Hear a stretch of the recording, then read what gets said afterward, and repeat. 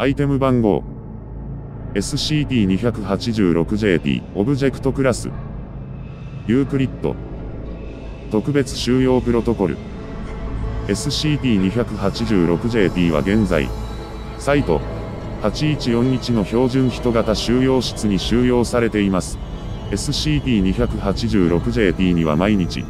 朝昼晩3食の SCD-286JT 用の食事と晩1食の SCD-286JT 一用の食事を2セット提供してください。SCD-286JT と直接接触することは禁止されています。説明 SCD-286JT は身長1.6メートル。体重 58kg の日本人男性に見えます。SCD-286JT は人間の体表に直接手のひらで触れることにより触れた部位に触れられた対象者の顔と酷似した様々なサイズの顔面を一つ発生させます。以下 SCD-286JT。1。現在この異常性によって、SCD-286JT の体表には8個の SCD-286JT。1が発生しています。現在は腕以外の SCD-286JT。1を除去したため、数は2個まで減っています。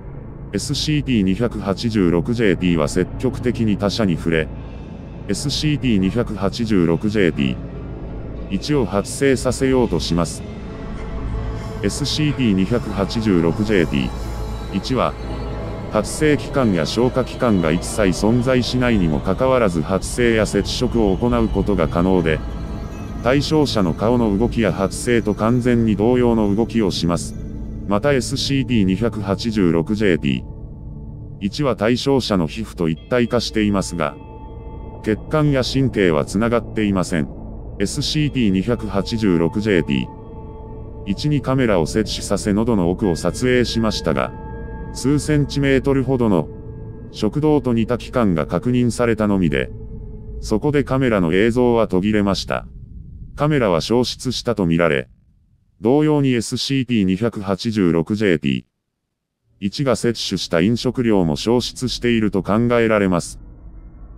SCP-286JT。1は対象者の摂取した食料などの影響を受けず、SCP-286JT。1がそれぞれ摂取を行わなかった場合、徐々に腐敗していきます。SCP-286JT。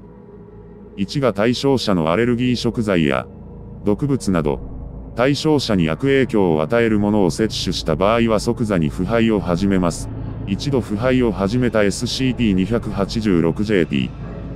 1は一度でも食料や飲料を摂取することで元通りの状態に戻りますが、完全に腐敗してしまった SCP-286JT。1は元の状態に戻ることはありません。SCD-286JT。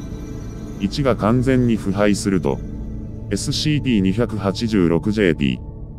1の周囲が腐敗し始めます。SCD-286JT。1の腐敗自体は対象者は痛みを感じることはありませんが、SCD-286JT。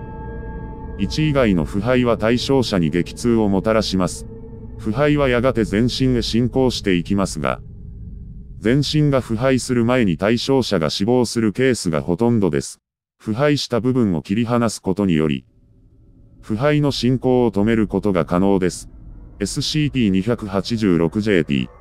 1に腐敗以外で傷、損傷を与えた場合、たとえそれが治癒不可能なほどのものであっても、1日ほどで元通りの姿に戻ります。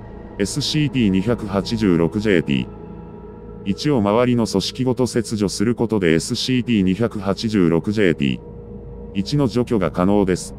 切除された SCP-286JT。1は切除後も対象者の顔の動きと同じように動きますが、切除前と同様に接触を行わなければ腐敗します。SCP-286JT。1が完全に腐敗するまで SCP-286JT。1の周りの組織が腐敗することはありません。SCP-286JT は、県の路上で体中に顔面が発生している人物がいるとの異常な通報を受け発見。収容に至りました。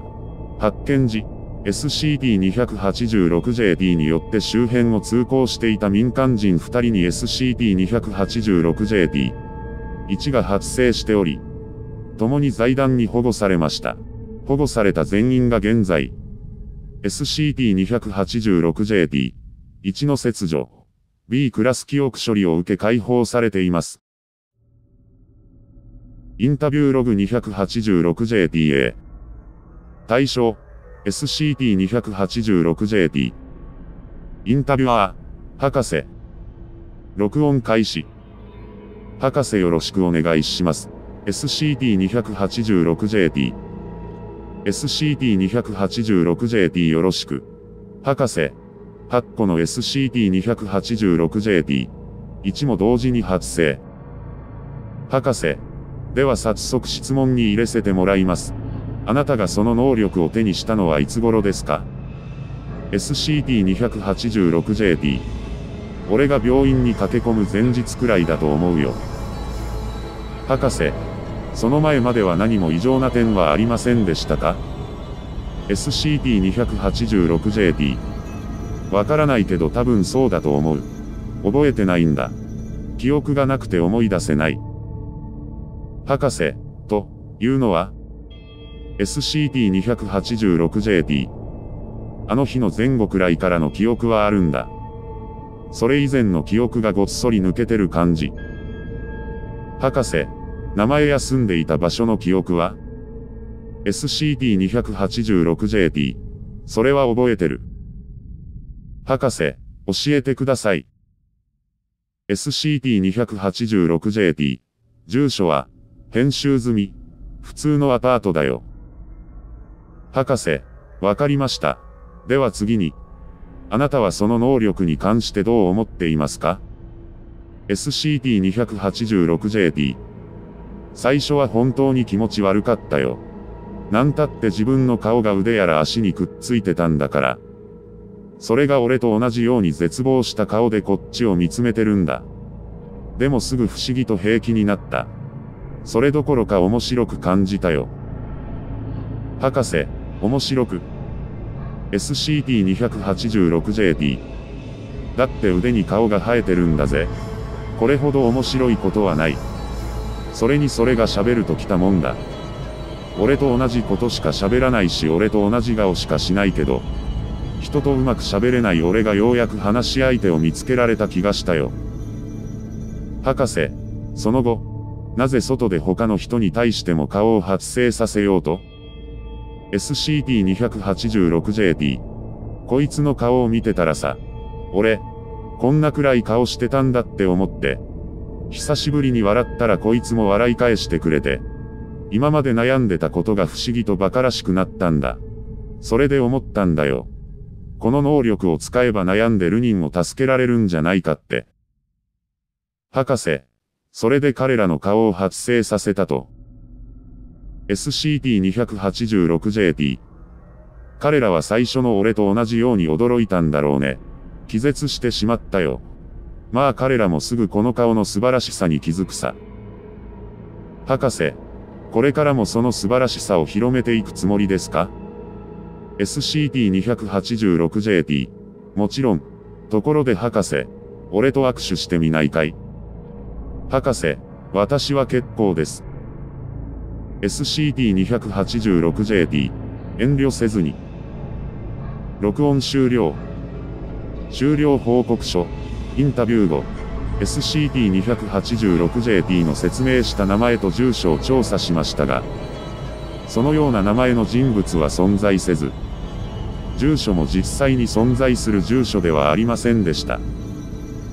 付録 286JTB 以下の内容の文が SCP-286JT の背中に入れ墨されていました。わーお。ワンダーテインメント博士の日本限定版のミスターを見つけたみたいだね。全部見つけて日本でもミスター。コレクターになっちゃおう。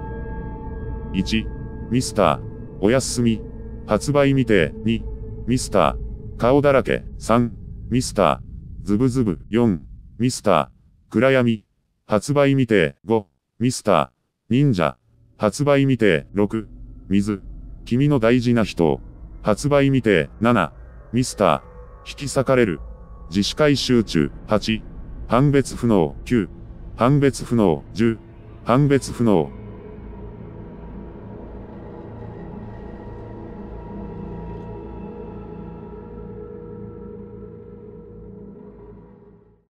ご視聴ありがとうございました。また見に来てくださいね。ぜひチャンネル登録またはお気に入り登録をお願いしますですん。ですんですん。